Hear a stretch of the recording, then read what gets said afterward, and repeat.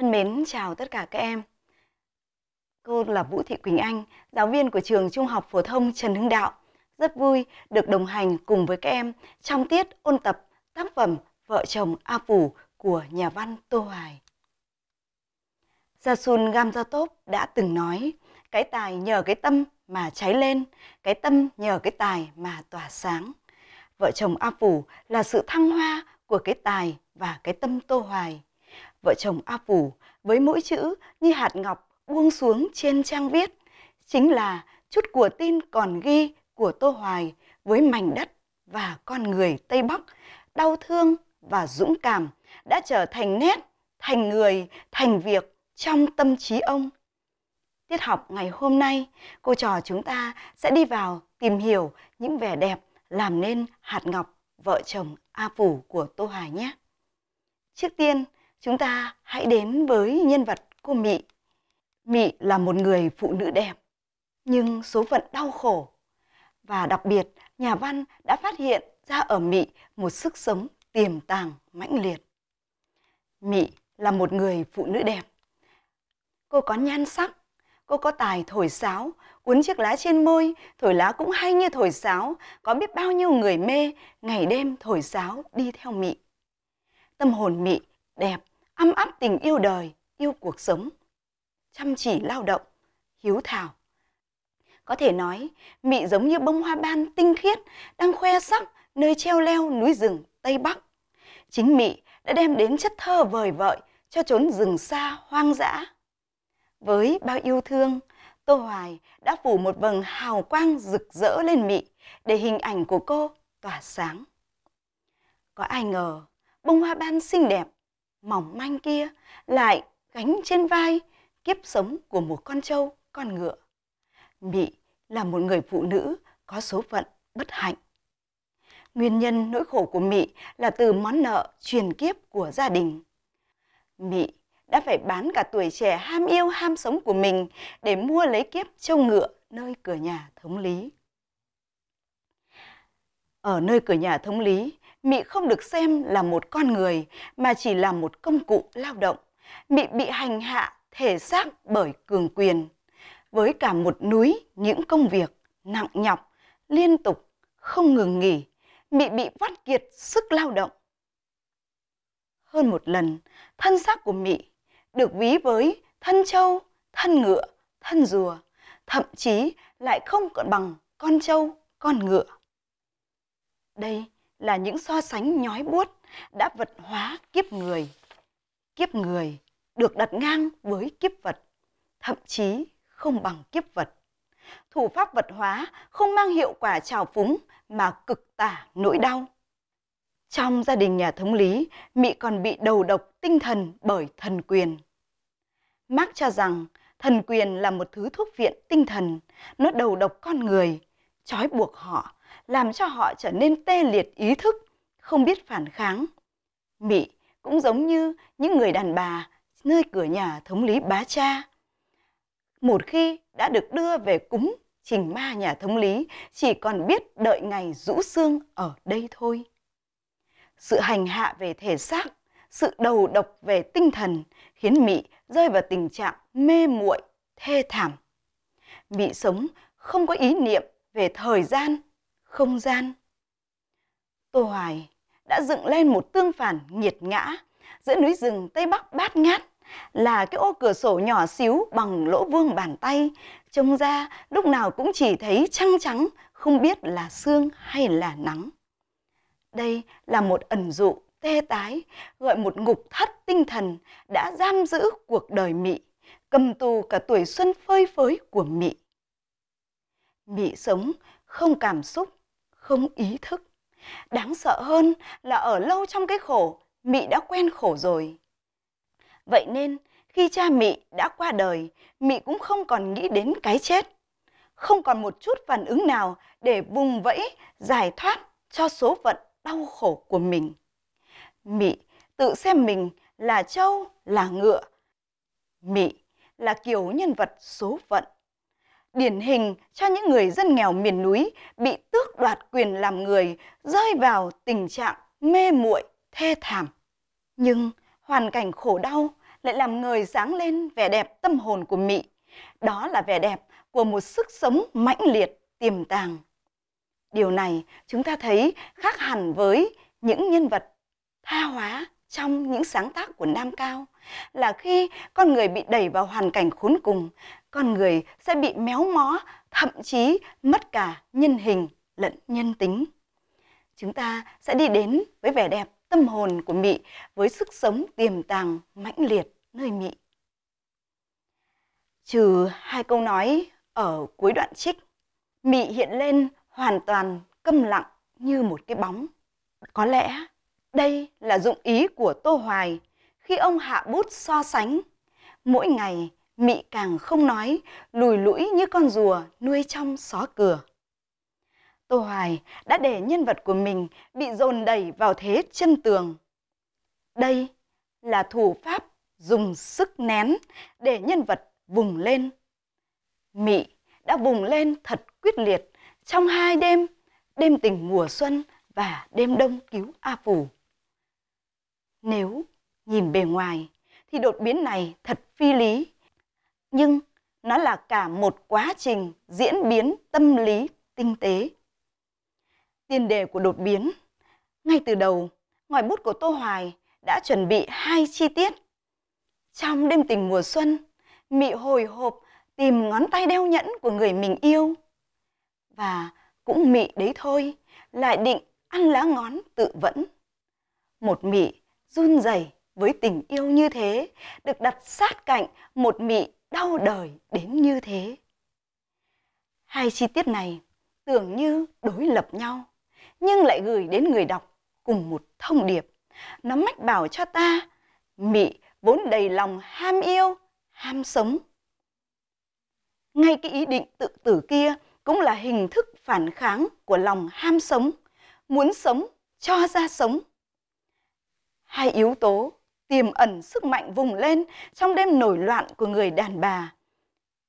Tâm hồn ham yêu, ham sống của Mị có thể bị vùi lấp, bị lãng quên trong đáy sâu của một tâm hồn đã chai cứng vì đau khổ, nhưng không thể bị tiêu tan. Gặp thời cơ thuận lợi, nó sẽ lại cháy lên dưới lớp cho buồn. Bây giờ, chúng ta sẽ đi tìm hiểu vào sức sống tiềm tàng của Mị được thể hiện trong đêm tình mùa xuân. Duyên do nào khiến một người đàn bà câm lặng trong đau khổ ấy lại đột ngột thấy lòng vui sướng trở lại, muốn đi chơi là bởi cảnh mùa xuân trăng. Xong, gió rét, sắc vàng ửng của cỏ danh, những chiếc váy hoa sặc sỡ chưa đủ để làm nên sự nổi loạn trong tâm hồn của Mị. Đối với hoàn cảnh của Mị, việc muốn đi chơi cũng là một sự nổi loạn. Nổi loạn với gia đình nhà thống lý bá cha và nổi loạn với chính bản thân mình. Tác nhân làm nên sự thay đổi trong tâm hồn Mị là men rượu. Mị cứ uống ừng ực từng bát một. Uống như nuốt hận vào trong lòng. Hơi men vừa gây lãng quên, vừa đưa về nỗi nhớ. Quên đi thực tại cay đắng để nhớ về quá khứ tươi đẹp. Và quan trọng hơn là Mị nhớ mình vẫn là con người. Mị còn trẻ lắm, Mị muốn đi chơi. Bao nhiêu người có chồng cũng đi chơi ngày Tết. Huống chi, A Sử với Mị không có lòng với nhau mà vẫn phải ở với nhau. Ý thức về bi kịch của cuộc đời mình, Mị đã muốn chết. Nếu có nắm lá ngón trong tay lúc này, Mị sẽ ăn cho chết ngay chứ không buồn nhớ lại. Nhớ lại chỉ thấy nước mắt ứa ra. Nhưng có lẽ tác động nhiều nhất đến tâm hồn của Mị là tiếng sáo. Tiếng sáo đưa Mị trở về với những khát khao yêu đương, làm cho Mị quên đi ý định muốn chết, đánh thức dậy, khát khao sống. Tiếng sáo dập dờn trong đầu Mị. Cùng với men rượu, tiếng sáo đã làm cho Mị ngây ngất, sống như người mộng du. Mị đến góc nhà, lấy ống mỡ, sắn một miếng, bỏ thêm vào đĩa đèn cho sáng. Mị quấn lại tóc, Mị với tay lấy cái váy hoa vắt ở phía trong vách. Thậm chí, A Sử vào, Mị không biết. A Sử hỏi, Mị không hay. đến khi A Sử trói Mị, Mị dường như không biết. Tiếng sáo vẫn đưa Mị đi theo những cuộc chơi, những đám chơi. Mị sống thực trong cảnh ảo. Vì thế, sợi dây trói của A Sử chưa làm kinh động ngay giấc mơ của kẻ mộng du. Mị vùng bước đi. Ba chữ ấy quyết liệt và lãng mạn lạ lùng. Nó chứng tỏ khát vọng yêu, khát vọng sống trong tâm hồn mị cứ trào ra ngoài sợi dây chói. Nhưng hiện tại lại cứa vào da thịt bằng những lằn dây chói. Mộng du tan biến trong ý nghĩ cay đắng về thân phận. Mị thổn thức nghĩ mình không bằng con ngựa. Lại một giai đoạn chập chờn giữa mê và tình, giữa hơi rượu và tiếng sáo, với cái đau nhức của sợi dây chói và tiếng chân ngựa đạp vách, gãi chân. Nhưng bây giờ, theo chiều hướng, tỉnh dần ra và đau đớn dần lên. Để đến sáng hôm sau, Mị lại trở về với vị trí của con rùa nuôi trong xó cửa, thậm chí lại còn câm lặng hơn trước. Đây là sự quẫy đạp chống lại số phận lần thứ nhất của Mị. Tuy chưa giải phóng được số phận, nhưng đã làm hồi sinh tâm hồn Mị, mang ý nghĩa hiện thực và chất thơ của lòng nhân đạo. Chúng ta sẽ đến với sức sống tiềm tàng mãnh liệt của nhân vật cô Mị trong đêm đông cứu A Phủ. Đây mới thực sự là đột biến cao nhất. Tâm trạng Mị được mô hình hóa theo bốn trạng. Trạng một, đó là trạng thái thản nhiên đến đáng sợ trước cái chết đang đến gần với A Phủ.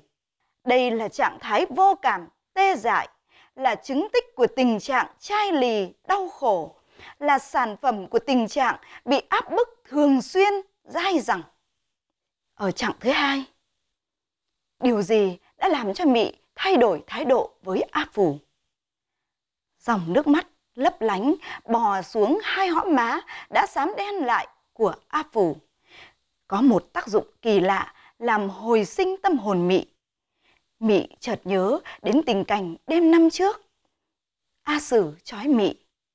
Nhiều lần nước mắt chảy xuống miệng, xuống cổ, không biết làm sao lau đi được. Cảm giác thương thân dẫn đến nỗi thương người. Mị nghĩ đến cái chết đang đến gần với A Phủ. Chết đau, chết đói, chết rét, phải chết. A Phủ, lần đầu tiên hai tiếng A Phủ rung động nhẹ nhẹ trong tâm hồn mị như hơi thở của tình yêu thương. Đến chặng thứ ba, khi lòng thương người đã xuất hiện, nó sẽ lớn dần lên và hơn cả cảm giác thương thân. Đây là quy luật của lòng nhân hậu Chính vì thế nên Mị không sợ khi nghĩ đến tình cảnh biết đâu khi A Phủ chạy được rồi, bố con bá cha sẽ bảo là Mị cởi trói cho nó, Mị sẽ phải chết trên cái cọc ấy. Nghĩ thế, làm sao Mị cũng không thấy sợ. Quên cả nỗi sợ, Mị đã quyết liệt cầm dao, cắt dây mây, cởi trói, cứu A Phủ. Đến chặng thứ tư, nhưng khi những lần dây chói cuối cùng ở trên người A Phủ được gỡ bỏ, thì Mị lại hốt hoảng. Ở đây thì chết mất. Nhưng nỗi sợ không làm cho Mị trở nên hèn nhát. Đã thúc đẩy bản năng tự vệ tích cực ở Mị, xui khiến Mị chạy theo A Phủ và tự giải phóng cuộc đời mình. Đêm đông, giải cứu cho A Phủ là sự quẫy đạp chống lại số phận lần thứ hai ở Mỹ. Ở lần đầu, số phận Mỹ vẫn đứng im. Nhưng lần thứ hai, số phận Mỹ đã thay đổi, mang ý nghĩa tích cực hơn.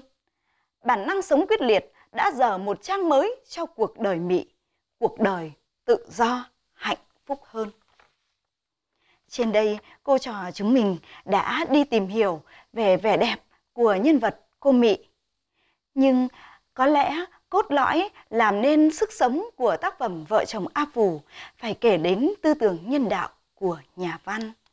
chúng ta sẽ đến với tư tưởng nhân đạo của nhà văn Tô Hoài trên những trang viết của vợ chồng A phủ Tô Hoài từng nói, đất nước và con người Tây Bắc để thương, để nhớ trong tôi nhiều quá. Chính vì thế, viết về những con người nơi đây, ông viết với một tình cảm yêu thương, trân trọng. Ông xót thương những người lao động miền núi nghèo, bị tước đoạt quyền làm người, rơi vào tình trạng mê muội, thê thảm. Nhưng bên cạnh đó, ông còn ngợi ca những con người lao động với một vẻ đẹp của hình thể, tâm hồn, tài năng. Đó là một cô mị, xinh đẹp, tài hoa, hiếu thảo, yêu cuộc sống tự do, yêu thương đồng loại, mềm mại, nhẹ nhàng, sâu lắng, giống như một áng thơ của núi rừng. Bên cạnh Mị là A Phủ, một anh A Phủ gan bướng, lao động giỏi, mạnh mẽ, can trường, không sợ cường quyền. A Phủ gồ ghề như một áng văn xuôi của những cao nguyên đá. Nhưng yêu thương con người không phải đến những trang viết của Tô Hoài chúng ta mới thấy. Vậy đâu là nét riêng của Tô Hoài và những nhà văn cách mạng so với các nhà văn hiện thực phê phán? Chủ nghĩa nhân đạo của Tô Hoài đó là chủ nghĩa nhân đạo cách mạng. Không chỉ yêu thương con người, nhà văn còn nhìn thấy khả năng đấu tranh của những người lao động. Sức sống tiềm tàng, mãnh liệt của Mỹ, sự phản kháng quyết liệt của A Phủ là tiền đề dẫn họ đến với cách mạng. Và cách mạng sẽ làm thay đổi cuộc đời họ. Cuộc đời họ sẽ mở ra một trang mới, chấm dứt kiểu số phận bế tắc giống như nhân vật anh Pha trong bức đường cùng của Nguyễn Công Hoan, chị Dậu trong Tắt đèn của Ngô Tất Tố hay Chí Phèo trong tác phẩm cùng tên của nhà văn Nam Cao và biết bao nhân vật khác của văn học hiện thực phê phán. Kem ạ, một trong những yếu tố có thể làm nên sức hấp dẫn của những trang truyện ngắn, không thể không nói đến nghệ thuật miêu tả tâm lý nhân vật. Nghệ thuật miêu tả tâm lý nhân vật của Tô Hoài đã đạt đến trình độ bậc thầy, tạo nên những trang viết mang phép biện chứng tâm hồn. Nhà văn đã nhìn thấy tâm trạng của nhân vật là sản phẩm của hoàn cảnh chịu sự tác động của ngoại cảnh. Tâm trạng của Mị trong đêm tình mùa xuân và đêm đông giải cứu A Phủ đã chứng minh cho điều này. Nhưng ngòi bút đầy bản lĩnh của Tô Hoài không dễ dàng và giản đơn đẩy tâm lý nhân vật vào một đường thẳng, đơn thuần chỉ là sản phẩm của hoàn cảnh. Nhà văn đã để nhân vật của mình ứng xử theo logic vận động nội tại của chính nhân vật.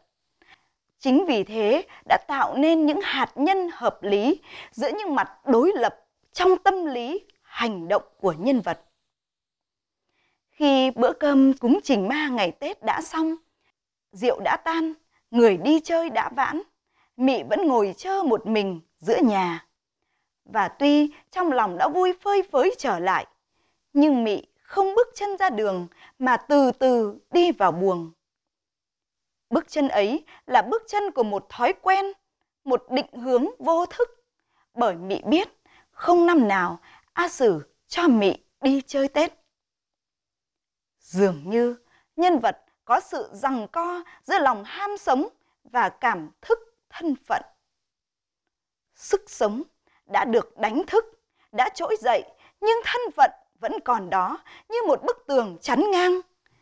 Diễn biến tâm lý của nhân vật Mỹ được thể hiện tự nhiên, hợp lý và chính những khuất khúc, những khoảnh lặng, những mâu thuẫn đã làm nên chiều sâu nội tâm của nhân vật, thúc đẩy quá trình vận động tự thân của nhân vật.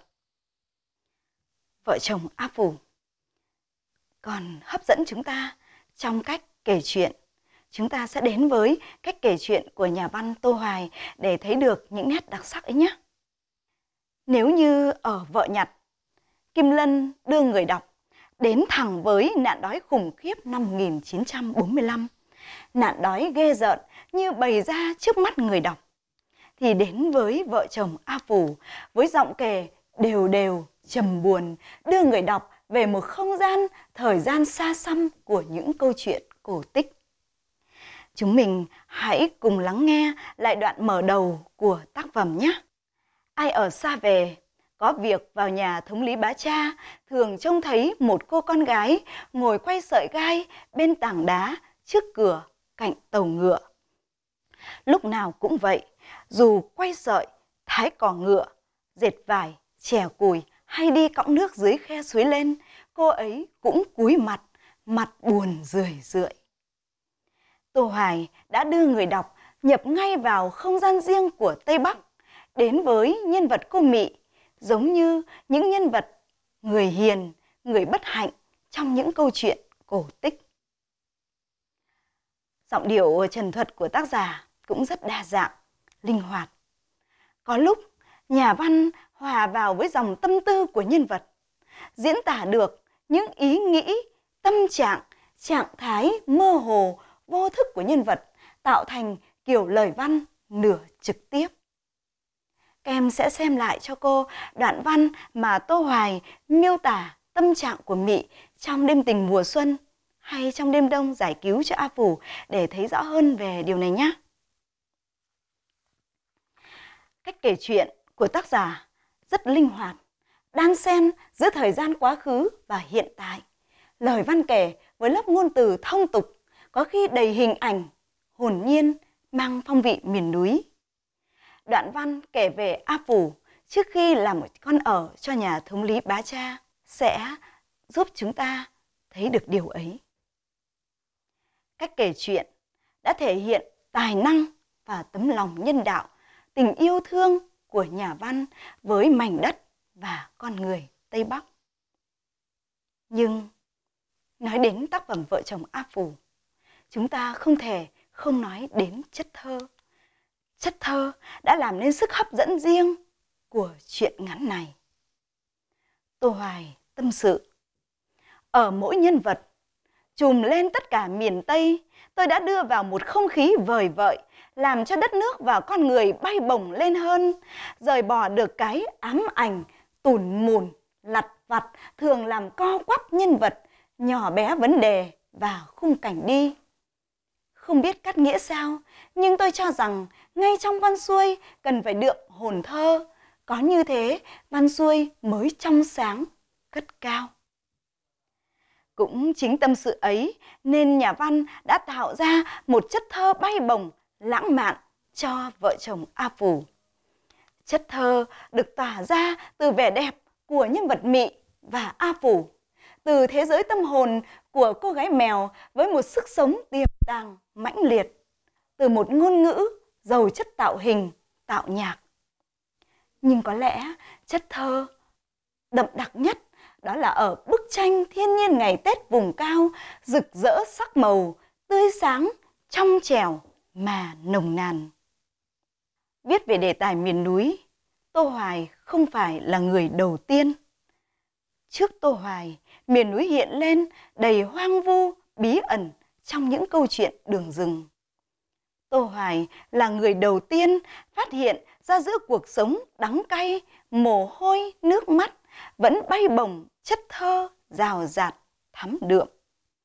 Nơi bóng tối của những nỗi đời đau khổ vẫn hé lộ những nguồn sáng trong trèo, nguyên sơ, vĩnh hằng. Trên đây, cô trò chúng mình đã đi tìm hiểu những vẻ đẹp đa sắc màu để làm nên viên ngọc, vợ chồng A Phủ. Về nhà, cô muốn các em sẽ tìm hiểu thêm một số những chi tiết hình tượng nghệ thuật đặc sắc trong tác phẩm nhé.